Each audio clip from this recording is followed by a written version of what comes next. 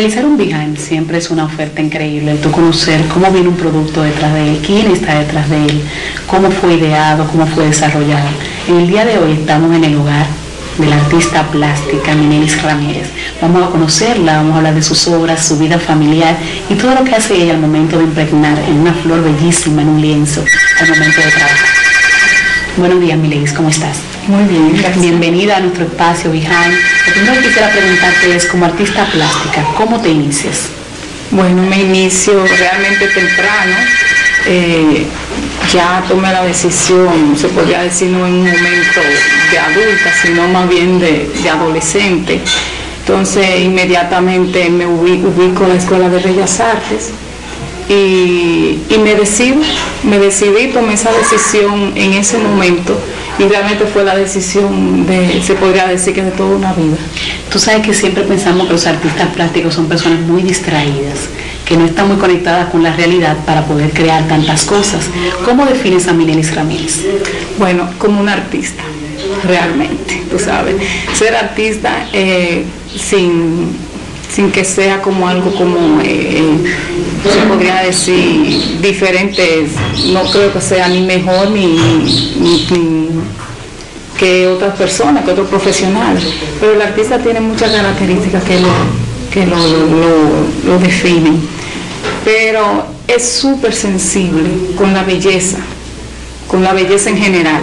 Por eso hablo del artista en general, porque el artista plástico, la mayoría tienen mucho de músico, ¿ves? Tienen mucho de, de- de- de baile, sobre Que todo. son todas artes. Sí, porque Se supone que cada expresión de, una, de, de ser humano que puede demostrar emociones, sean tristeza o alegría, es arte, que Sí. combinada pueden llegar a ser cosas bellísimas. ¿Cómo eliges tú el tema a pintar?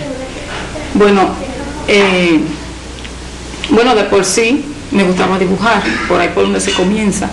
Entonces te das cuenta que tienes ese, ese, ese gusto y que, lo- y que logras hacerlo. Y ahí eh, sigue un, un camino, un recorrido, ¿entiendes? Y, y te queda en esa área, de- en esa área del arte. Tú sabes que me llama mucho la atención de tus obras el hecho de que tú pintas muchas flores diferentes, en formas distintas, colores, luces, una combinación preciosísima. ¿Por qué te motivan más las flores? Bueno, eh, realmente uno va a la escuela o, o en el lugar donde se aprende y tú estás capacitado para pintar todo. Tiene un, aprendi- un aprendizaje para todas las áreas. El ser humano, eh, el paisaje, eh, el bodegón, las flores, eh, son muchas muchas ramas de lo que es la pintura, el dibujo, la escultura. Pero llega un momento que para darte a conocer necesita Tener una línea de una línea definida, como cualquier artista o como cualquier profesional. Entonces tú elegiste las flores. en Entonces este elegí las flores, exactamente, y ya después que elegí las flores, la va conociendo y la conoces, y el camino es más fácil. Ya Tú sabes que en tu ahí. cuadro se nota también como un encuentro de la misma sensibilidad que tú hablas al ver las flores, porque no es ver una flor pintada, uno siente como una compañía, ustedes se han hecho una buena mancuerna, las flores y tú. ¿Cómo tú definirías esa relación entre las flores que tú pintas y Minelis Ramírez con el ser humano? Bueno, con el tiempo, como te digo, me adapté al tema de las flores y las flores se adaptaron a mí. Yo diría porque ya tu cuadro. haciendo una terminamos haciendo una pareja, es decir, lo que pinto se parece a mí Sí. y ya yo me parezco a lo que pinto. Claro Así que uno sí, se siente muchísimo. ¿Cuántas colecciones tú has realizado Exposiciones. o exposiciones? Ya individuales tengo tres. Ok. Y colectiva tengo una cantidad ya de, Sí, ya. de colectiva. Ya las colectivas siempre son, son muchas. Pero individuales tengo tres exposiciones. Tú sabes que siempre pensamos y la persona quiere saber, cuando vamos a realizar un cuadro, a comprar un cuadro, pensamos que hacemos como vamos a las tiendas, vamos directo, yo quiero esto y lo compro. Cuando tú defines hacer una colección, empiezas a pintar, ¿qué tiempo te lleva planificar una colección, una exposición? Eh, hacer una exposición, ¿qué tiempo me lleva? Ah, me puede llevar mucho tiempo. Porque a veces uno puede tener cuadros en su casa que dice, bueno, este cuadro es para una exposición y lo puede dejar ahí guardado. Y un día lo saca y dice, le da otro toquecito. Puede ocurrir eso. También puede ocurrir en, en- en el tiempo que tenga ya programado para la exposición, es decir, tiene tres meses o puede decir que tenga un año Y de acuerdo al tiempo, entonces tú te apresuras a trabajar. Lo vas planificando poco a poco. Lo vas planificando de acuerdo al tiempo que, que tiene, con más bien eh, con, con quien iba a realizar la exposición, porque a veces se realiza en conjunto a una galería. Tú sabes que también nos llama mucho la atención la parte de mi ser humano, porque combina las plásticas, tú eres un artista, con lo que es su vida familiar. ¿Cómo defines y defiendes cada parte? Porque todo está bellísimo, tu hogar se siente hogar y tenemos que felicitarte por eso, porque muchas veces pensamos que los artistas viven en un mundo solamente ellos, no tienen más nada. Y no, tú eres una mujer real, una mujer que nos identifica como dominicana, como profesional, nos hace sentir orgullosas. ¿Cómo tú defines una parte y otra? Bueno, ¿cómo te digo? Porque eh, ninguna se no tiene ninguna se desconecta de la otra.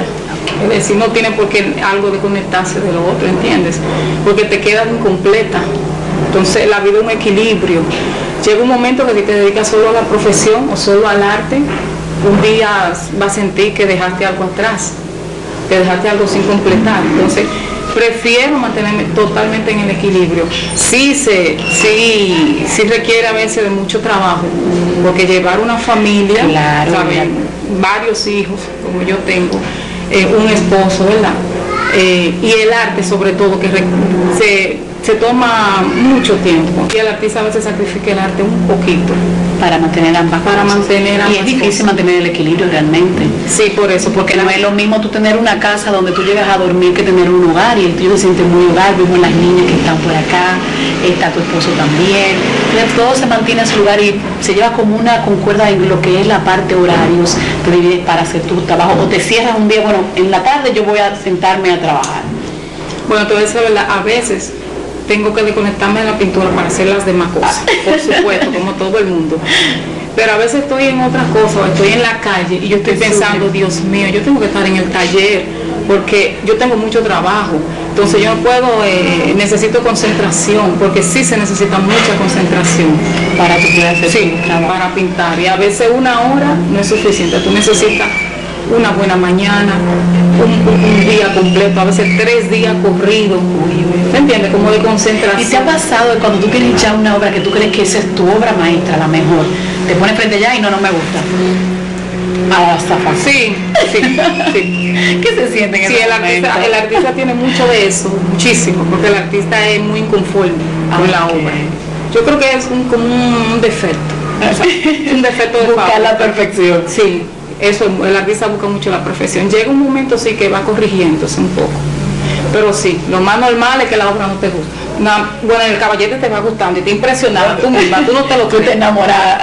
Tú no crees que tú estás haciendo eso y está chulísimo, pero después cuando ya te paran, te paran del caballete o, o pasa un par de días, ya la obra no tiene, no, dicen no, no, no, esto no era.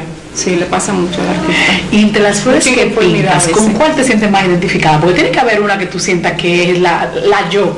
¿Cuál es esa? Bueno, yo tengo una especie de obsesión como, como, como artista y tal vez como mi nenis ya. Y es con la hortensia. La hortensia. Las hortensias me gustan mucho. Me gusta mucho el azul. Me gusta mucho la gama en general que ellas tienen, que son muchas. Van desde el lila, eh, eh, el rosado. una flor bien presumida. ¿eh? Ella tiene todos los colores, pero aquí aquí se conocen más los azules, como la gama del azul y la lila. Entre azul y lila, que es más bien como.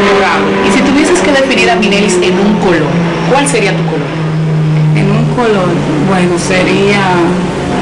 Te puedo decir que el color de la luz la luz, la transparencia. Sí, claro, la transparencia, lo limpio. Yo pienso que sí, que se parece mucho a ti a sí mismo. Vamos a seguir conociendo todas que son tus obras. Gracias, Mili, por permitirnos esta invasión en tu hogar, para que las personas conozcan a esa artista plástica y que sepan que también hay un ser humano detrás. Que lo que usted ve frente a este cuadro, que puede llegar, decorar su hogar, decorar una sala, un comedor, lo que usted quiera, también hay una parte de ser humano detrás. Y como Villa se define.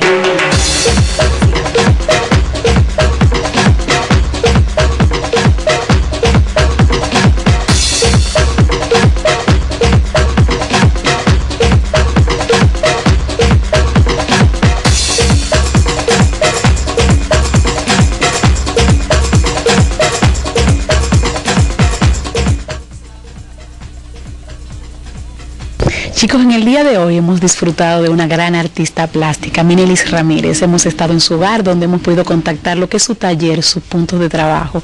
Y en este momento me toca despedirme desde uno de sus lugares más encantadores, un hermosísimo jardín donde la frescura, la armonía y todo está en su perfecto lugar como es el arte. Gracias por compartir conmigo este viaje tan especial. Nos vemos en estudio.